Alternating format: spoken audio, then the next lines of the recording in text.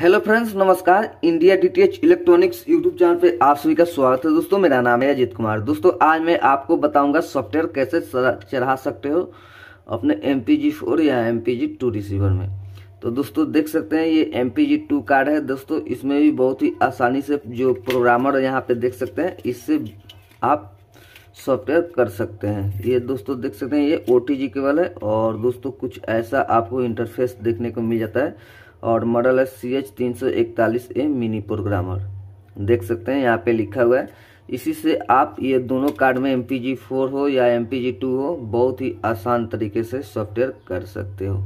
तो इस वीडियो को एंड तक देखें और चैनल पर नए हैं तो सब्सक्राइब कर ले और बेल आइकन घंटी को दबा दे ताकि ऐसा ही इन्फॉर्मेशन दोस्तों आपको आगे भी मिलती रहेगी। तो दोस्तों, चलिए आपको मैं बताता हूँ कि कैसे आपको सॉफ्टवेयर करना है, वो भी आसान तरीके से।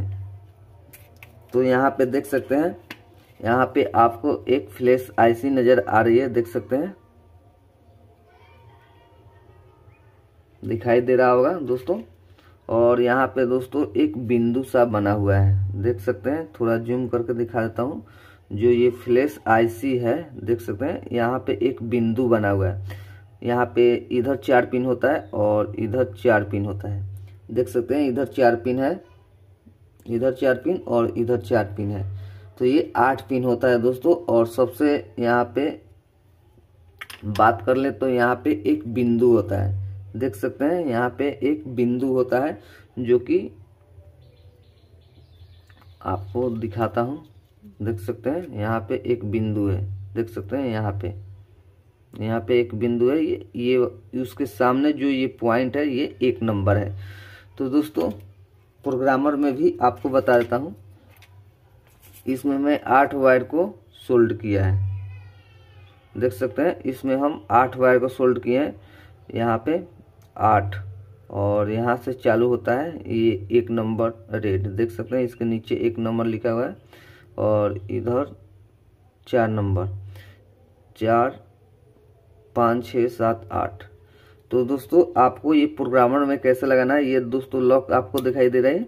इधर एक नंबर आएगा। तो ऐसे इसको घुमा लेना है और ऐसे डाल देना है।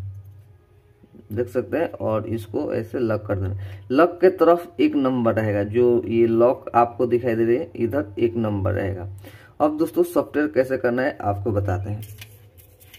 देख सकते हैं एम फोर रिसीवर में भी यहाँ पे कार्ड है और यहाँ पे भी एक बिंदु दिखाई दे रही है, ये एक नंबर है। तो एक नंबर से आठ नंबर आपको ये वाली वायर को सोल्ड करना है, दोस्तों। यहाँ पे एक से आठ नंबर तक ये वाली वायर को सोल्ड कर देना है। उसके बाद अपने मोबाइल फ़ोन या लैपटॉप वगैरह जो भी है पीसी आप बहुत ही आसान तरीके से चढ़ा सकते हो। और एक बात बताना चाहते हैं, दोस्तों। यहाँ पे देख सकते हो ये दोस्तों, जब भी आप वायर को यहाँ पे सोल्ड करोगे तो ये बार बार क्या होता है दोस्तों, ये इधर उधर सट जाएगा, या दोनों पिन में सट जाएगा, जो फ्लैश आईसी का पिन बारीकी से आप देख सकते हैं।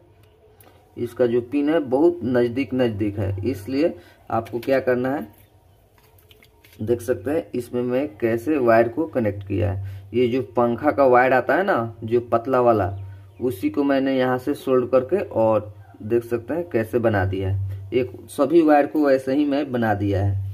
देख सकते हैं, दूसरा वायर भी देख सकते हो यहाँ पे और ये तीसरा वायर भी देख सकते हो। सब वायर को मैं वैसे ही बना दिया है और यहाँ पे टेपिंग कर दिया है। देख सकते हैं, क्योंकि हमको ये सोल्ड करने में आसानी होता है दोस्तों। और एक बात बता देना चाहता हूँ दोस्तों, आप जब भी प्रोग्रामर खरीदें तो ये वाली चिंटी ना खरीदें।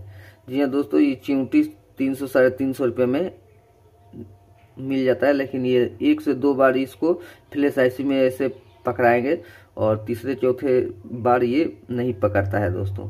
ये बात ध्यान रखें, इसको नहीं खरीदना है, केवल आपको ये प्रोग्रामर खरीद लेना है। केवल प्रोग्रामर खरीद लेंगे तो ये वाला जो आपको दिखाई दे रही है, ये वाली, ये ऐसा ही फ्री में मिल जाता है। तो इतना ही खरीदना है दोस्तों, क्यों ज़्यादा पैसा बर्बाद करना है? इतना कर देंगे तो आपका जो प्रोग्रामर है, वो मिल जाएगा और बहुत आसान तरीके से सॉफ्टवेयर कर सकते हो।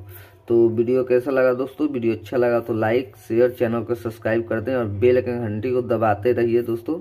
एक ही बार दबाना है दोस्तों, ताकि हमारा लेटेस्ट वीडियो सबसे पहले आप लोग देख पाएँगे।